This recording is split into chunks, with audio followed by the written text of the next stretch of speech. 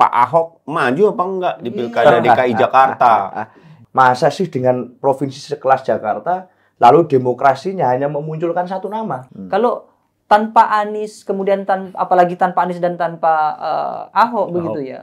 Saya kira untuk konteks Jakarta akan sangat hambar sekali. Kota provinsi yang berhasil membuktikan bahwa di tengah situasi semua orang menghegemoni Pak Jokowi waktu itu, Anies Baswedan bisa menang. Nah, kalau eh, Kaisang masuk, itu sebetulnya juga bisa kita anggap eh, El Clasico juga kan, berhadapan antara kekuasaan Pilpres sama dengan Pilpres kan.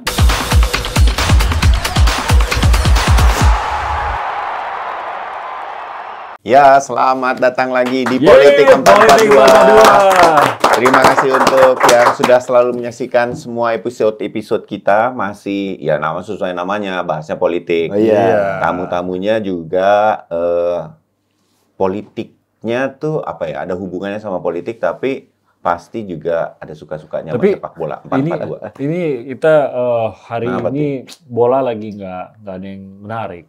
Jadi mungkin Hmm. kita pakai perumpamaan-perumpamaan olimpiade aja ya bagaimana ya. Boleh. Lompat jauh apa gitu, panjat tebing, panjat apa politik gitu loh. Ya. Ya, kan yang lagi hangat nih olimpiade nih soalnya nih, ya kan? Ya. Selamat untuk Indonesia yang sudah punya dua emas. Yes. Dari panjat tebing eh, nomor kecepatan Nomor putra Angkat lifter beban ya. muda Angkat kita ya eh, berhasil Pecah rekor olimpiade rekor. lagi tuh. Loh, Jadi bukan cuma menang emas loh, dia Iya. memecahkan rekor dan olimpiade. satu perunggu dari bulu tangkis. Mantap. Ya, Luar walaupun Seno bilang mantap, tapi ini warning buat bulu tangkis. iya. Yang penting Ya adalah Mas Seno ya. Benar, benar, benar. Ya, tapi ayo bangkit lagi. Masuk untung ada perunggu. Saya mau kayak waktu itu lagi Ya, setiap situ olimpiade. jadi emas. ini dong, Siap. menpora kalau mau, ya kan, tang- ambil tanggung jawab. Nah, itu ter- terserah Seno Tapi nanti ya pendek- kan. pendekatannya jangan 442 udah klasik. Habis mukanya juga klasik kita jadi cocoknya 442. Anyway, selamat datang buat para komentator kita yang hadir hari ini. Saya, Iya. saya dan Bayu, ada Mas Seno Bagas Koro. Yeah. Jangan lupa gasnya, Gas. gas, gas. Orang Koro. suka kadang-kadang Seno Baskoro, bukan. Salah. Harus Kurang ada, gas. Ah, harus gas, Bagas Koro. Hari ini pakai ini udah kita. Oh, Wey, Biasanya pakai ini jaket PDIP. Jaket PDIP. Hari ini lagi pakai komentator 442 Iya, gitu. Partai Politik 442. Iya, iya. Dan juga ada Mas Dedi Kurniasyah, ini dari Direktur Eksekutif IPO Indonesia Political Opinion. Yeay, Halo, selamat datang Iya. Mas Dedi, terima Ini kasih. kalau Pembeda. perusahaan- Beda, Pembeda. sih. Beda. Soalnya ini perusahaannya udah IPO. Iya. Emang namanya IPO. Iya. Aduh. Jadi beda pakai batik sendiri. Selamat datang. Jadi kita hari ini mau ngomong, ngomongin apa? Baik. Karena ada Seno, update yang paling akhir kita pengen tahu Pak Ahok maju apa enggak di pilkada Nah. DKI Jakarta? Ini ke aku ya pertanyaan. Iya, pasti. Gini. Jadi memang Jakarta itu kan lagi tiap hari lah ya dibahas akhir-akhir ini Hmm, tentang siapa yang akan maju Ya. dan apakah mungkin kita mengajukan calon di masa saat ini kita menghadapi ke koalisi super gitu ya, kerjasama super yang Kim ya, memunculkan warna Kim nih. Super Iya. apa nih? Super besar, super kuat atau apa pun lah ya yang mereka coba lakukan gitu seakan-akan semua partai politik gabung ke eh, mereka jadi satu. Hmm. Sebenarnya secara prinsip kita nggak ada masalah gitu ya dengan Hmm. langkah politik partai lain mau melakukan apa itu buat kami itu adalah otonomi dari masing-masing Ya, parpol. ya, ya. Tapi dalam konteks pemilu hari ini tentu yang akan dirugikan yang utama adalah masyarakat. Kalau Hmm. semuanya mengerucut Hmm. pada satu kekuatan dan memunculkan satu nama saja. Kenapa? Jakarta ini Pak, provinsi sebesar ini Hmm. jadi etalase nasional. Secara politik ini adalah sentral gravitasi Hmm. politik nasional kita. Masa sih dengan provinsi sekelas Jakarta lalu demokrasinya hanya memunculkan satu nama Agak di nggak- dalam ini pemilu. ya. Ini nggak afdol ini, Iya, nggak iya, nggak iya, nyambung kalau itu terjadi. Itu Nanti- seperti seperti sesuatu yang berharga, masa nggak ada yang memperebutkan? gitu Iya, kan? masa ini UEFA Champion League gitu terus, Terus kon- gitu. kontestannya cuma satu kan nggak nggak asik. Masa Pak. Barcelonanya langsung menang? Ya, masa, masa, masa Madridnya eh, gabung ke sana. Terima kasih Mas Nah, iya. benar, benar. Barcelona butuh Madrid. Kalau nggak Barcelona Kalau- bisa ngalahin siapa? Iya. Dikalahin. Yang Iya. perlu Madrid untuk dikalahkan. Gitu. Deal. iya. Pokoknya Real Madridnya kesebut dulu. Jangan sendirian. Saya setuju mengenai itu maksudnya. Eh, eh, ya kan? masalah ini Madridnya tadi.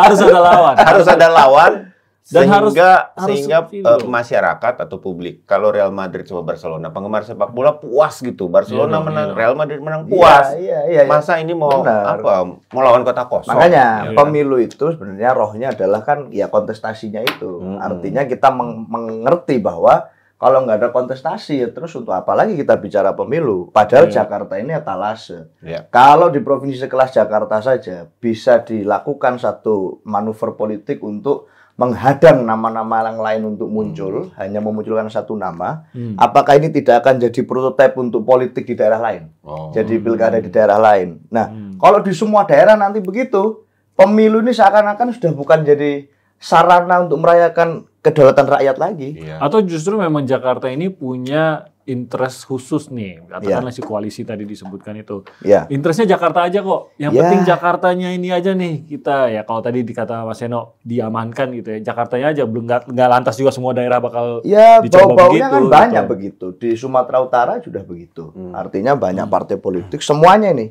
di Hmm. luar PDI Perjuangan sudah mengerucut ke satu pasangan, satu Ya. nama. tapi kan PDI Perjuangan juga pernah sen waktu Gibran maju wali kota Oh iya. PDI Perjuangan kan agak sendirian juga tuh. Masalahnya itu PDI Perjuangannya Hmm. atau Mas Gibrannya.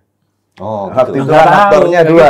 Waktu itu aktornya dua. Artinya Oh. gini, hari ini kita bicara provinsi-provinsi besar yang jadi etalase utama politik Indonesia, Hmm. apalagi Jakarta. Iya. Ini sesuatu yang berhasil membuktikan kota provinsi yang berhasil membuktikan bahwa di tengah situasi semua orang menghegemoni Pak Jokowi waktu itu, Anies Baswedan bisa menang.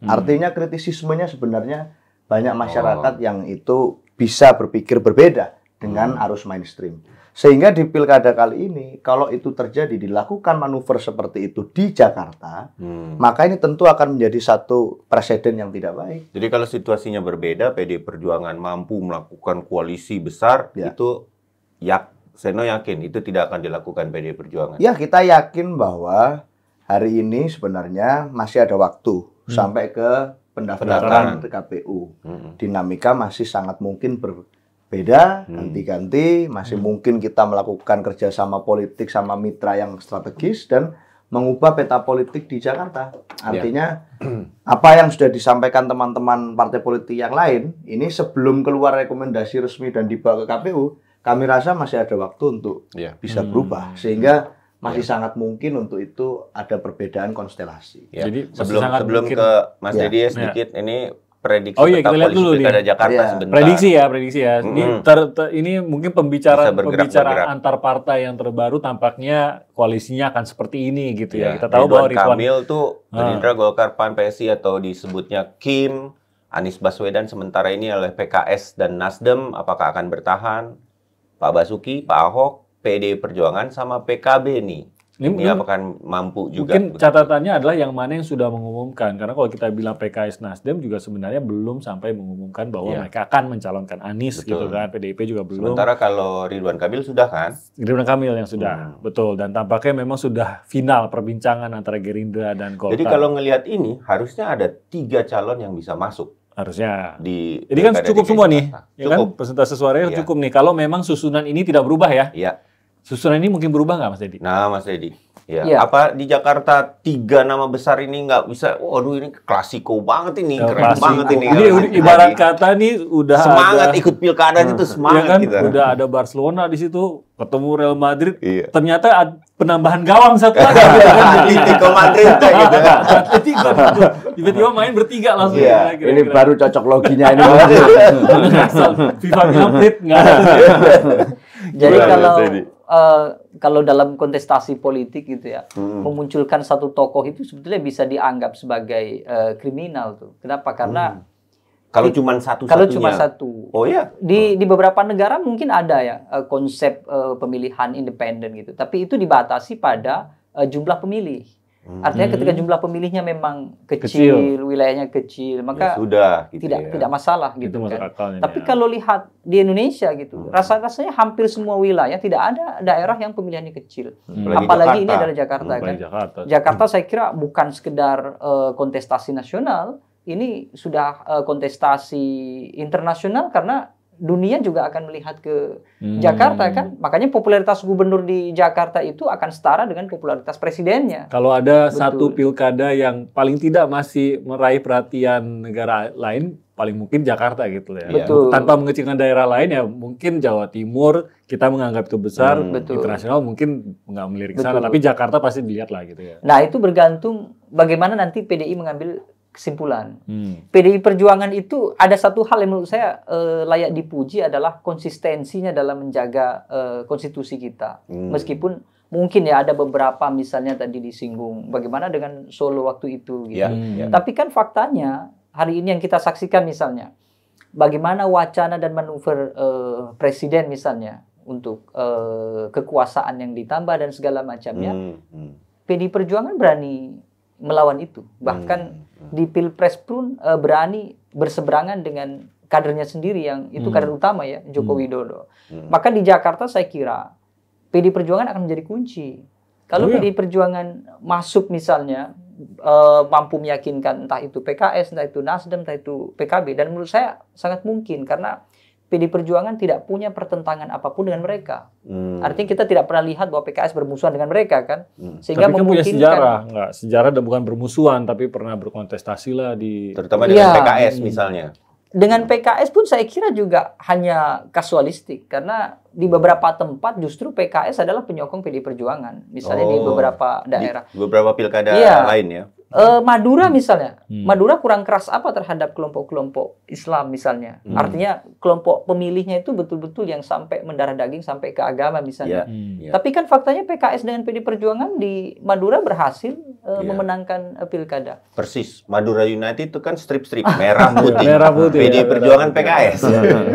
Jadi kalau PD Perjuangan tiba-tiba berhasil meyakinkan PKS atau PKS yang mau menurunkan ego begitu ya, Bisa mereka terjadi bisa nih ya. terjadi. Wow, menarik juga itu. Kalau PKS saja memungkinkan, apalagi PD Perjuangan dengan PKB atau dengan Nasdem itu jauh Hmm. lebih lebih Hmm. mudah lagi komunikasinya. Jadi ini juga Iya. mungkin terjadi di Jakarta. betul. Tinggal nasi gorengnya Ibu Mega nih gimana Waduh. disajikannya. tapi tapi kita kita tegaskan dulu uh, kemungkinan bahwa Anies maju bersama Ahok tuh nggak bisa. Kalau itu bisa udah ya. udah pasti Itu udah pasti enggak lah ya. tidak bisa. Tapi kalau Anies lalu ketua kampanyenya Ahok masih bisa ya? Oh itu sangat mungkin. Bahkan Kan punya poten- sangat mungkin gitu. sangat mungkin dan dan punya potensi kemenangannya juga pasti tinggi kan. Kenapa? Karena sama- Sebaliknya juga bisa. Sebaliknya juga Iya. bisa. Ah, boleh atau atau di dibalik juga bisa. PD Perjuangan ini kalau dia sudah menjadi kunci, tidak hanya PD Perjuangan, partai apa pun ketika dalam kontestasi dia menjadi kunci keterusungan, Hmm. maka bergainingnya kan pasti lebih tinggi. Meskipun Iya. PKS dia mayoritas di parlemen, tapi kalau PDI masuk artinya PKS tidak akan bisa maju tanpa PDI. Atau Iya, seperti iya. di Banten, Golkar tidak bisa maju tanpa PDI. Maka Iya. yang tinggi tawarannya bukan PKS Tapi- lagi kan? Harus diingat juga Anies bukan kader PKS kan? Nah, betul. Jadi Hmm. jadi kalau misalnya kalau PKS bilang harus kader kita, ya kalau harus kader PKS ya berarti bukan Anies gitu dong. Betul. Ya, mungkin Sohibul Iman atau siapa dong gitu kan. Iya. Sementara PDIP banyak kali ya kader PDIP yang Iya, bisa dimajukan banyak. di Jakarta sebenarnya. Banyak listnya banyak. Listnya Dari awal tuh. kita sebut banyak sekali. Ahok Ada ya kan waktu di sini. Ahok yang muncul terus di Bu survei, Risma. Bu Risma, Mas Anas. Mas Anas yang sekarang Iya. Menpan RB. Lalu ada lagi misalnya Jawa Tengah eh, wali eh, Jawa Tengah. termasuk? Jenderal Andika. Jenderal Andika. Iya, Jakarta juga masih mungkin. Jangan lupa Pak Seno Andika. Bagas Koro. Oh, dulu, jangan jangan ganggu. Biar Kan- dia selesaikan dulu. Iya. Tugas-tugasnya masih banyak ini. Tar dulu. Mumpung masih muda, Eh, ada pelan-pelan yeah. aja. Ada yang bela aku. Enggak, iya. bukan gitu, bukan gitu Mas Eno. Nanti susah kita ngundang. Oh, iya iya iya iya, iya iya iya iya. Iya iya iya. Kalau udah jadi gubernur, Mas Eno telepon asisten saya lah katanya gitu. Kita bisa sering di sana itunya tapping ya. Kagak ah, dikasih. Orang sibuk kerja lu ganggu-ganggu ngapain lagi. Itu bos, jadi listnya banyak. Terus kita juga nama-nama itu kan nama yang di mata publik juga sangat dikenal Ya, langsung ya. termasuk iya termasuk yang menteri kabinet juga kita sempat beberapa mengusulkan ke kita Pak Basuki Hadi Mulyono misalnya Hmm. itu juga eh, sangat dekat dengan kami lalu Pak Nadiem Makarim misalnya Ya, ya. sehingga sangat mungkin nama-nama itu muncul menjadi nama calon gubernur jadi bukan yang tanpa rekam jejak lalu kita majukan Ya. tapi Hmm. memang yang kita godok adalah nama-nama yang punya kredibilitas di situ. Nah, Sen, sekarang nih update terakhirnya piye Siapa nih yang lagi ada di maju apa top of the list nih? Nah, Ya, secara elektoral kan kalau mau eh, melihat survei paling tinggi ya memang Pak Ahok. Tetapi secara ideal sebagai partai kader harusnya memang kader internal kita yang maju. Tetapi tentu secara realitas politik kita harus melakukan komunikasi politik. Jakarta itu unik karena tidak ada satupun parpol yang bisa maju sendiri. Komunikasinya sekarang yang paling intens Ya sama PKB saya banyak sama teman-teman PKB kita bicara, sama teman-teman Nasdem kita bicara, PKS banyak lah semuanya, hampir semua partai politik kita juga ngobrol. Kalau ini kalau nanya gini, prediksi Mas Bayu, PDB Mas Bayu. PKB begini Tadi sebenarnya dekat. dia bilang Eh. dibicara semua semua. Yang nggak diajak bicara siapa? Oh enggak, termasuk dengan PAN kita juga ngobrol, dengan Oke. Golkar kita ngobrol, Gerindra kita ngobrol karena pilkada kan bukan hanya DKI, artinya kita juga harus membicarakan konstelasi di banyak daerah. Nah, dalam perbincangan itu kan ya pasti otomatis ngomongin ada juga ngomongin tentang Jakarta. Jakarta juga dong. Nah itu secara terlembaga partai juga menugaskan ada tujuh kader yang senior untuk bicara intens dengan eh, partai-partai lain. Jadi Tuh. ada ada kemungkinan apa pun masih ada ya, apa pun masih. apa pun masih ada. Hmm. Jadi kita sangat yakin bahwa kerjasama politik yang ini lalu diistilahkan dengan koalisi Hmm. yang terjadi di pilpres itu setelah pilpres berakhir masuk ke pilkada ya sudah beda semua itu. harusnya ya. Harusnya, karena sudah selesai. Hmm. Artinya di daerah kita kerjasama resmi merekom dengan Gerindra banyak, dengan teman-teman Golkar juga banyak, Hmm. dengan PAN juga banyak. Dan ini di mana dong koalisi yang dia katakan pakem di pilpres kemarin? Semuanya sudah berubah. Diajak juga nggak sih untuk mendukung Ridwan Kamil? Oh kalau itu kita seperti yang saya sampaikan, kita memang berkepentingan untuk satu harus ada kons- konstelasi di Jakarta, tidak boleh Oh. satu calon. Hmm. Yang kedua kita juga punya kepentingan Jadi ini kader bukan kami. like or dislike ya. Bukan like or dislike, Mm-mm. tapi harus ada kompetisinya. Hmm. Lalu kemudian ya kader kami juga harus maju. Hmm. Itu sebagai salah satu bagian kita bikin kaderisasi terus ngapain? Bikin sekolah partai, Hmm. bikin Iya. manajemen partai, penugasan berjenjang. Endingnya kan harusnya ya di penugasan pada saat pilkada, uh, pilkada, pilkada itu ini. Hmm. kalau tanggung jawab konstitusional partai politik. Tapi belum belum sampai menegaskan ya katakan tadi karena Ya. paling tidak salah satu harus dari kader kami, tapi tidak harus gubernur, tidak harus wakil Ya, gubernur. Yang tidak harus. sampai saat ini masih terbuka lah Masih ya. terbuka, Oke. bisa gubernur, bisa wak- wakil gubernur. Oke. Gitu Iya. loh. Masih kebuka peluangnya Mas Didi. Kalau melihat ke PD Perjuangan nih ke gini tebakannya Mas Dedi, prediksinya kita punya Prediksi skor nih biasanya. punya Hati-hati mas, punya dua calon judi sama dia nanti. minimal dua calon deh di Jakarta dan itu dari PD Perjuangan masih memungkinkan. Saya kira kalau diskusi PDI Perjuangan saya kira memungkinkan ya. Artinya eh, PDI Perjuangan walaupun dia ada penurunan di tingkat parlemen eh, Jakarta, tapi kan Hmm. basis pemilihnya juga sebetulnya stabil. Iya. Dan ditambah lagi dengan kondisi Jakarta sekarang yang ada upaya untuk eh, memborong ya dalam tanda kutip semua partai politik dan PDI Perjuangan juga punya stok tokoh yang Mm-mm. cukup Iya, bagus. iya. Setidaknya mudah lah untuk dipromosikan sebagai pemimpin Hmm, di hmm. Jakarta. Itu sangat mungkin sekali. Terlebih peluangnya masih ada di dua jalur kan? Ada satu jalur misalnya melalui eh, PKB, satu jalur lagi melalui eh, PKS atau Nasdem Nasdem. PKS misalnya. Hmm. Artinya kalaupun dia kehilangan atau misalnya terhalang dengan PKS karena mungkin PKS tidak mau menurunkan ego, Hmm. artinya kalau dia tetap memaksa Sohibul Iman, jangankan PD Perjuangan, yang lain pun besar kemungkinan juga tidak akan mau merapat kan. Hmm. Hmm. Tapi kalau PKS eh, menyatakan oke lah kita eh, punya pikiran yang sama dengan PD Perjuangan, yang penting kontestasi ada gitu ya. Kemudian Jakarta mendapatkan pemimpin yang bagus, dia menitipkan saja kepentingannya terhadap Anies Baswedan.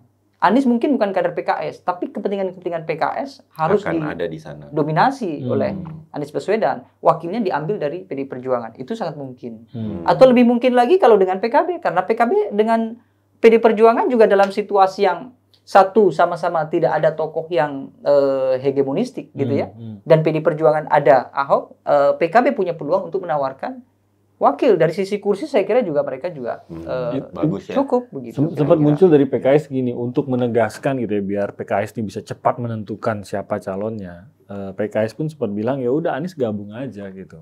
Jadi masuk ke dalam PKS gitu. Jadi memunculkan pertanyaan Anies ini kan sangat melekat tampaknya dengan eh, PKS gitu ya Eh, dan dukungan dari kader-kader PKS, pemilih-pemilih PKS juga sebagian besar mungkin bisa kita kalau kita lihat mengalirnya kepada Anies pada saat kontestasi sebelumnya gitu. Eh, emang apa apa efeknya sih kalau Anies bergabung katakan menjadi kader dari partai PKS? Efeknya positifkah buat elektabilitas atau justru memang ada alasan kenapa Anies ini nggak bergabung memilih bergabung dengan partai seperti Ridwan Kamil lewat pada saat menentukan bergabung dengan Golkar? PKS itu memang agak unik ya. Satu dan kalau dibandingkan dengan PD Perjuangan juga hampir serupa terkait dengan loyalitas pemilihnya. Hmm. Artinya ketika Anies Baswedan eh, masuk ke PKS, dia punya peluang untuk tidak dipilih oleh kader-kader yang loyal terhadap partai yang lain. Hmm. Misalnya Hmm. Nasdem, Nasdem tentu akan lebih loyal misalnya ke Nasdem, PKB loyal ke PKB. Tapi kalau Anies tanpa partai, Hmm. kelompok pemilih yang loyal terhadap Nasdem, PKB masih mungkin bisa memaklumi untuk tetap memilih Anies karena Hmm. faktor dia bukan milik siapa-siapa. Jadi lebih Oh. baik untuk Anies untuk tidak justru Untuk tidak, bergabung. karena kalau memilih sama-sama harus misalnya dis- disyaratkan misalnya Anies Baswedan salah satu syarat utama misalnya harus gabung dengan partai politik. Semua mensyaratkan itu. Hmm. Nasdem mensyaratkan itu, PKB begitu, eh, PKS begitu. Maka yang paling terbaik kalau sama-sama harus masuk, maka masuk Nasdem. Kenapa? Iya. Karena pemilih loyalnya Nasdem itu berbeda dengan pemilih loyalnya PKS, PKS. yang cenderung menutup kepada Hmm. tokoh di luar, kira-kira begitu. Hmm.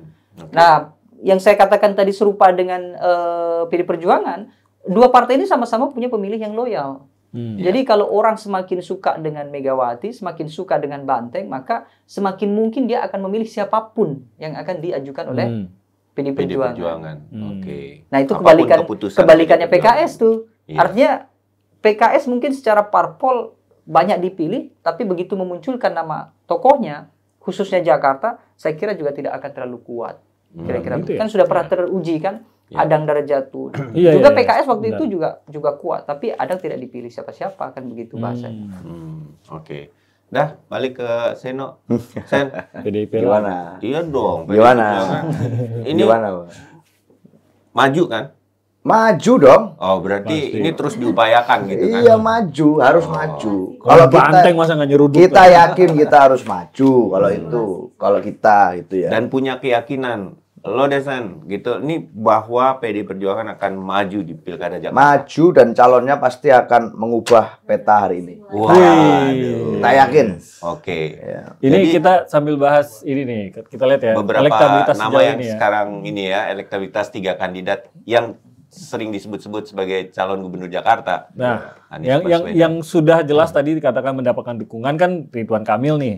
Tapi padahal sebenarnya justru dari ketiga ini ya lebih kecil elektabilitasnya dibandingkan dengan Basuki Iya, Cahayapurnama, 18,1%. Anies Baswedan. Ini eh, PDIP merasa terdesak nggak sih semua orang nyebutin Ahok mulu, Ahok mulu begitu udah Jakarta. Padahal sebenarnya mungkin dari PDI Perjuangan udah udah mau mengajukan kader lain karena mungkin ada kesulitan sendiri untuk memenangkan Ahok gitu ya. Maju mah gampang lah tinggal memajukan, tinggal cari koalisi. Memenangkan itu masih mungkin nggak kira-kira kalau Ahok? Ya menarik ya artinya kalau lihat tadi gambaran tadi kan Hmm. sebenarnya artinya Pak RK ini yang paling kecil gitu elektabilitasnya tapi Antara yang paling tuh. pasti gitu dukungannya sejauh ini. sampai Iya. sejauh ini. sampai sejauh ini dan bahkan memunculkan nuansa bahwa nggak bisa jadi nggak ada calon lain gitu Hmm. kalau Iya. kemudian menunggu kami jadinya jadi seakan-akan bolanya di PDI Perjuangan gitu Iya juga sih. kita padahal ngapain kita kenapa nggak partai lain kenapa kok nggak melakukan sesuatu untuk Berhubung yang di kadernya politik, gitu politik. 442 Seno Iya, ya udah. bebannya di kita. Padahal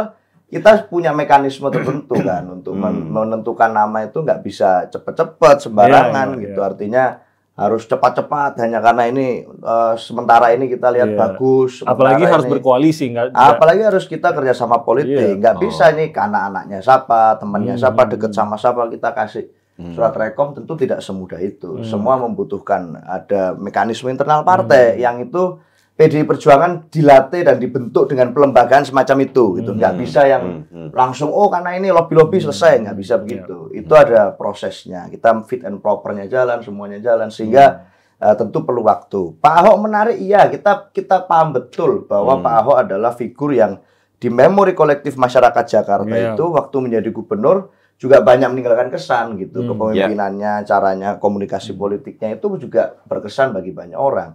Tetapi kan kita harus mempertimbangkan banyak hal juga. Artinya apakah di Jakarta tantangannya tetap sama dengan yang kemudian dilakukan di eranya Pak Ahok dulu. Ya. Apakah masyarakatnya tetap membutuhkan pendekatan kepemimpinan yang sama? Ini semua kita kodok. Walaupun kita- jangka waktu antara pendaftaran diumumkan nanti dan pilkada sendiri kan Ya. pendek, ya, maka betul, betul. popularitas ini kan sangat Penting. penting.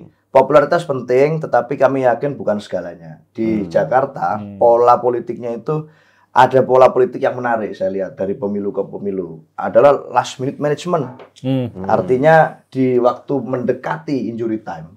Ini sudah mau akhir gitu ya. Iya, First iya. time-nya keluar. gitu. jadi jadi muncul nih super sub lalu Super tiba-tiba sub-nya sub keluar muncul. nih. Itu waktu di last minute management itu. Iya, Di iya. Jakarta sering begitu. Waktu di Pilgub yang lalu begitu.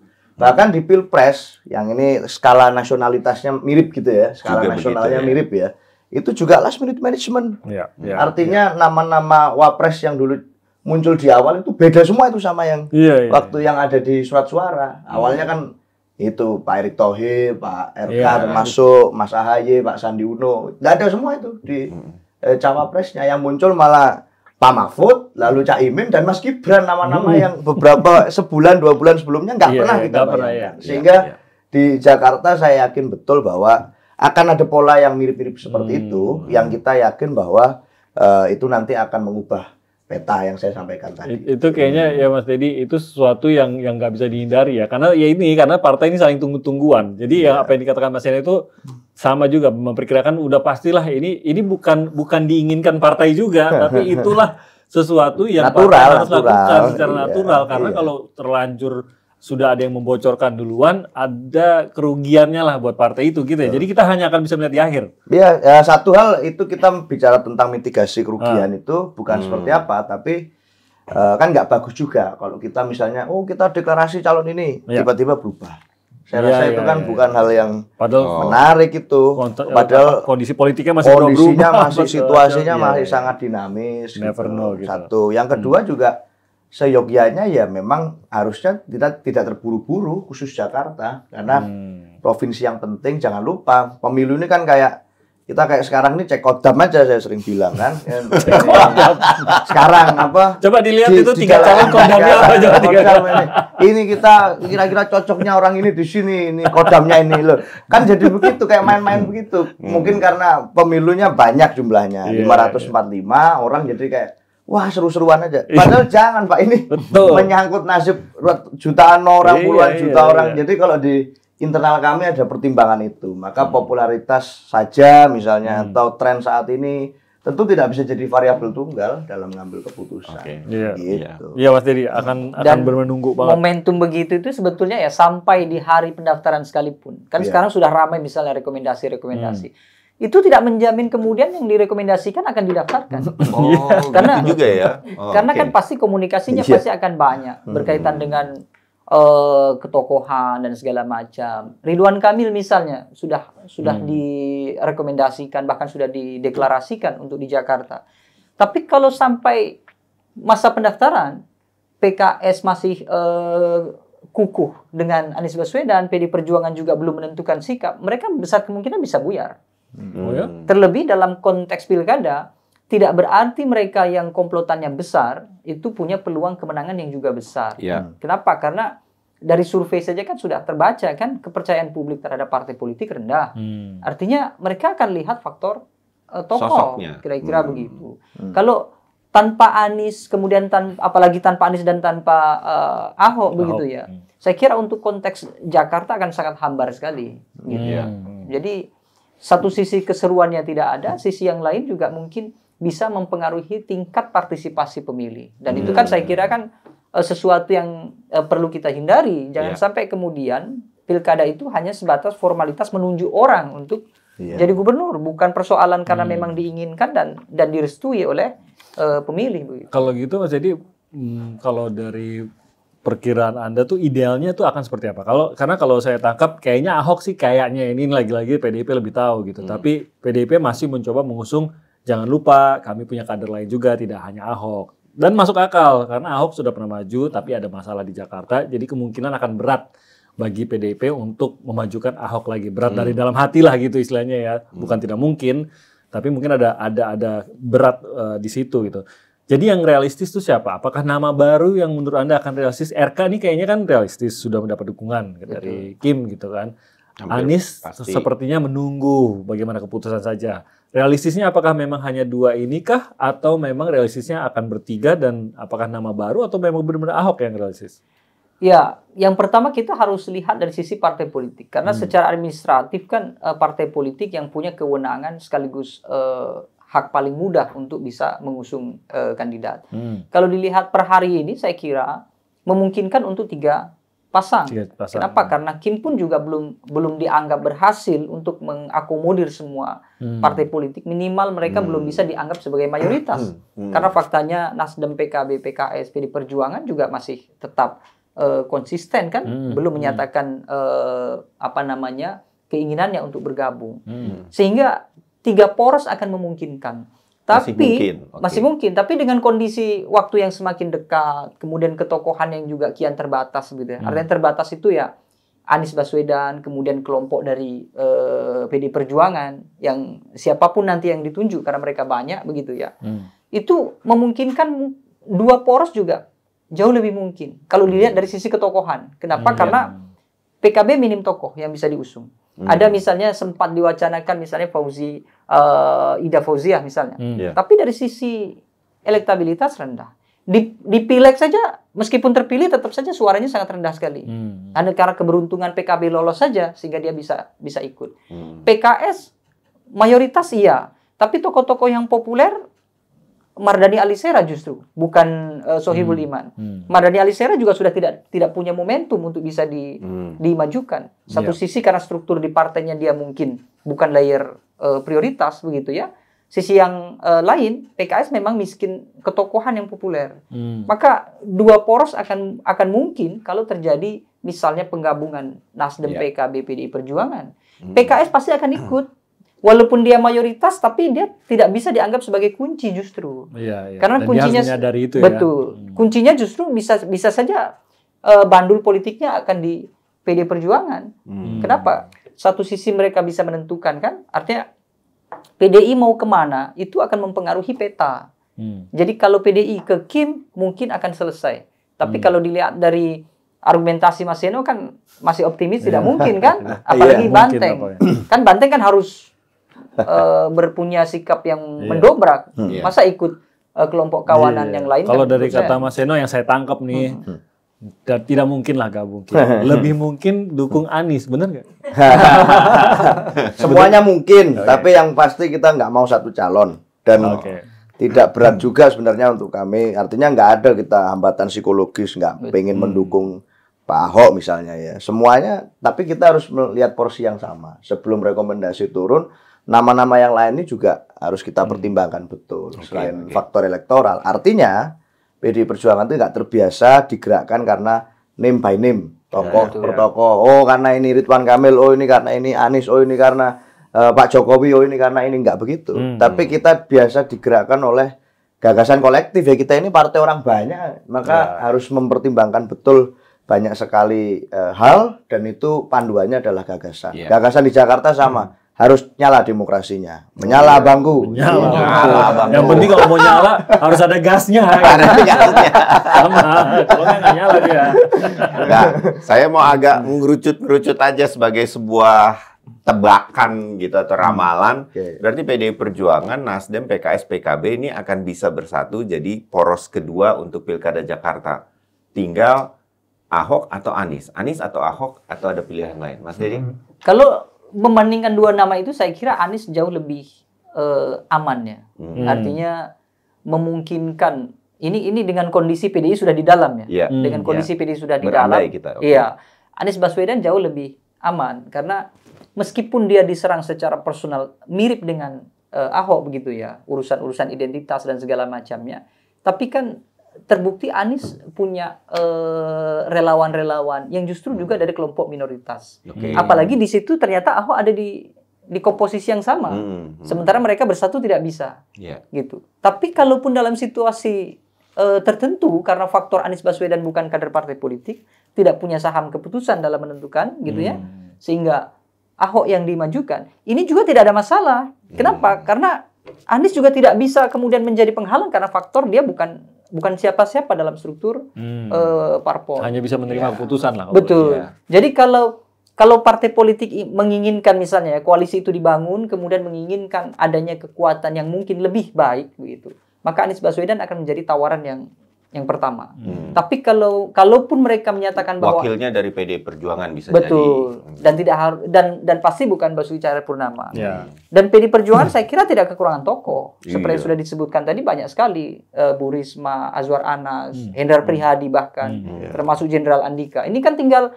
tinggal pilih kualitasnya akan serupa. Ya, nama Terlebih- sudah dikenal. Betul. Terlebih loyalis eh, pemilih PD Perjuangan itu mereka tidak akan berpikir dua kali. Hmm. Ketika eh, ketua umum menyatakan pilih si A, maka semuanya akan ikut Iya. si A, kira-kira begitu. Jadi plus minusnya saya kira tidak cukup eh, mencolok lah. Artinya kalaupun kehilangan Anies punya potensi kehilangan suara itu tidak signifikan, Oh. kira-kira begitu. Hmm. Tapi tetap sama-sama punya potensi mengalahkan Ya. rival, kira-kira begitu. Oke, berarti gagal dong harapan kita nih ada Apa El? Clasico. Hmm. Kemungkinan. Berarti timnas Spanyol itu udah Lagi- jadinya. Lagi tadi katanya kan kalau Ah- Ah- kalau tidak ada Ahok Anies di dalam pilkada 2024 jadi hambar. Iya. Masalahnya kalau ada dua-duanya kepedesan juga kita. itu sebenarnya. Iya. Ya, Kalau gado-gado karetnya dua itu. Ah, udah dikaretin semua tuh full karet tuh kalau kayak gitu. Kalau karet. sampai tiga muncul, Hmm. eh, anggap saja punya peluang tiga-tiganya muncul. Saya punya apa namanya ya, eh, ya keyakinannya dari data begitu ya. Besar kemungkinan Kim akan eh, gugur lebih awal. Oh ya? Oh, Karena dari sisi eh, ketokohan Anies Baswedan dengan Ahok sudah punya basis masa. Hmm. Mereka sudah tidak dilihat lagi sebagai orang daerah. Tapi begitu muncul misalnya eh, Ridwan Kamil gitu ya, maka itu tidak cukup kuat untuk bisa menghadapi eh, Basuki Hmm. Anies. Nah, itu Ditambah di pilpre, di pilkada DKI yang yang lalu ketika masih jadi DKI ya, itu kan dalam beberapa catatan survei Ahok itu sebetulnya unggul. Hmm. Tapi begitu sudah masuk eh, jadwal debat kandidat dan segala macam, memang itu berangsur-angsur hmm. eh, turun. Artinya Hmm. apa? Ya Anies atau Ahok sebenarnya pemilihnya setara, kira-kira Oke, begitu. Iya. oke. Punya Ini kekuatan yang sama. begitu. sebelum ke Mas Seno, Ya. terakhir ada wild card yang ada kemungkinan dimainkan nih. Mas Dedi, masuknya Kaisang sebagai wakilnya Itu mungkin- Ridwan Kamil misalkan. Itu efeknya apa kira-kira? Kalau itu saya kira mungkin saja ya, tapi ini akan eh, mengulang eh, pilpres yang lalu. Artinya nuansa pilpres akan sangat eh, terasa dan ini peluangnya juga besar. Misalnya pola pertama bagaimana batas usia kemudian direstui oleh MA begitu ya. Hmm. Kaisang bisa masuk, bahkan propaganda Kaisang juga sudah mulai ada begitu ya. Bukan tidak mungkin Ridwan Kamil dengan Kaisang. eh, Kaisang. Yang dikhawatirkan oleh pihak mereka kan paling serangan-serangan terhadap eh, politik dinasti, terhadap Hmm, Jokowi hmm. dan lain-lain. Hmm. Tapi yang mengendalikan pemilih di bawah belum tentu sama dengan yang ada di kelompok kelas Elit. menengah. Hmm. Di Pilpres yang yang menyerang ke Gibran cukup besar, tapi Hmm. faktanya di TPS kan hasil Yang- dari yang TPS juga, ya. ya. Ya, saya tidak katakan di TPS menang ya, tapi hasil perkumpulan dari TPS-TPS Sama. mereka menang kan kira-kira begitu. Ya, ya. Tapi ini Jakarta yang berbeda tentu Betul. dengan eh, pilpres dengan eh, kita bisa sebut Jakarta itu sebetulnya sudah ada wilayah-wilayah tertentu nih. Ada wilayahnya Anies Baswedan, ada wilayahnya PD Hmm. Perjuangan. Markingnya lebih ketat. Markingnya lebih Iya, ketat. markingnya lebih ketat. Ya, Jadi- memang resikonya itu ya. Satu sisi saya kira kalau dikatakan mungkin ya, karena Hmm. polanya kan sudah sudah ada Ya. seperti yang saya sampaikan tadi Hmm. gitu. Bahkan eh, Kaisang sebetulnya lebih mudah masuk kontestasi dibandingkan Gibran karena Kaisang Hmm. adalah ketua umum partai politik Iya, iya. dan di Jakarta juga punya eh, porsi. Iya. Sementara Gibran kemarin kan sama sekali eh, Iya, tidak iya. punya bahkan dukungan PDI Perjuangan pun tidak ada. Faktanya bisa masuk begitu Hmm. kira-kira.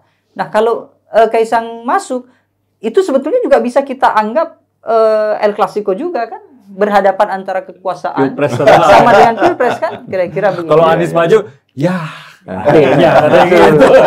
Adanya. Mau dengan Anies maupun dengan Ahok saya kira kalau Kaisang masuk akan sama saja. Oke, Begitu. tentang tanggapannya PDIP gimana tuh kalau memang sampai Kaisang ikut Ya. kontestasi kali ini? Kalau bukan El Clasico ya derby lah. Derby. Tapi ya buat kita apa pun itu ya asalkan itu nanti ada calonnya dan kita juga nanti akan bisa mengajukan calon ya saya rasa akan menarik ya kompetisi di Jakarta itu selalu Hmm. menarik dan Iya. seperti yang saya sampaikan tadi ada bukti bahwa Mas Anies saja bisa menang itu waktu Hmm. ada hegemoni Pak Jokowi yang luar biasa Hmm. Mas Anies menang artinya di Jakarta ini kompleksitasnya berbeda eh, masyarakatnya juga sangat heterogen Ya. tapi tentu saja punya level kritisisme yang cukup tinggi. Sehingga karena kenapa? Orang-orang kayak kita ngobrolnya di Jakarta terus gitu. Hmm. semua bahasan politik itu di Jakarta semua. Sehingga pasti ada apa ya banyak sekali pertimbangan. Sehingga siapa pun yang masuk ini masih lapangan yang datar. Meskipun ya Mas Kaisang kita tahu survei di Jakarta juga tentu saja ya masih di angka Ya, ya. segitu gitu ya. Hmm. tetapi menjadi menarik ini lapangan ujian bagi semua tokoh. Karena Hmm. Jakarta buat kami adalah etalase utama Pasti. adalah apa namanya secara politik ini center of gravity-nya Iya, iya. sehingga tentu semua nama yang merasa mampu ini akan diuji di kawah Chandra di muka Hmm. apabila ini Jakarta sehingga kami pun seluruh partai politik juga harusnya sebenarnya sangat berhati-hati dalam mengambil keputusan. Hmm, iya. Maka saya sepakat tadi ada pandangan belum tentu ini yang sudah definitif sekarang ini akan ajak betul pada waktu uh, pendaftaran setuju. nanti. Perbedaan-perbedaan kemungkinan shuffle lagi ini sangat mungkin terjadi. Iya. Hmm. Perubahan formasi sangat mungkin terjadi, apalagi pergantian pemain. Begitu. Mas. Wah, aduh ada super sub tetap masuk itu.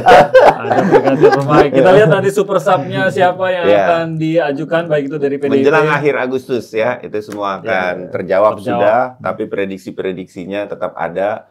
Saya sih tetap semangat bahwa eh, nggak bisa satu pertandingan itu cuman ada satu pemain, nggak Ya. seru. Bukan Jadi harus- bertanding namanya Bukan ya. bertanding Bukan. namanya.